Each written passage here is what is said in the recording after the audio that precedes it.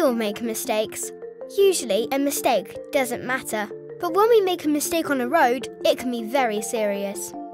If a mistake causes a crash, people can get killed or badly hurt.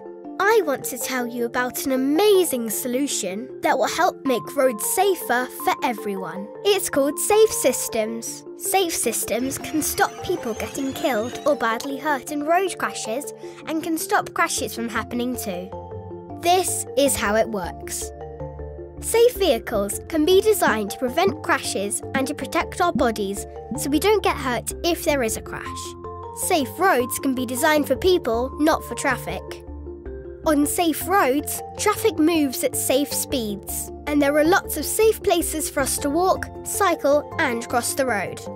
We can all be safe road users who look out for each other and keep ourselves and other people safe. If someone does get hurt on a road, we get them help as quickly as we can. We support people who are sad because someone they love has been killed or hurt in a crash. And we find out why crashes happen so we can find ways to stop them from happening again. All these different parts of safe systems work together so we can all make safe and healthy journeys where we live on safe streets that are designed for us. We can make safe and healthy journeys to other places too, using a bus or a train, and we can walk or cycle to the station.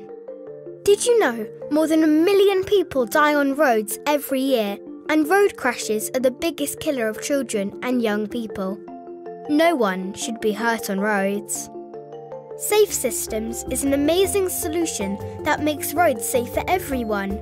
Help us build a system so we can all make safe and healthy journeys wherever we go. It's really simple.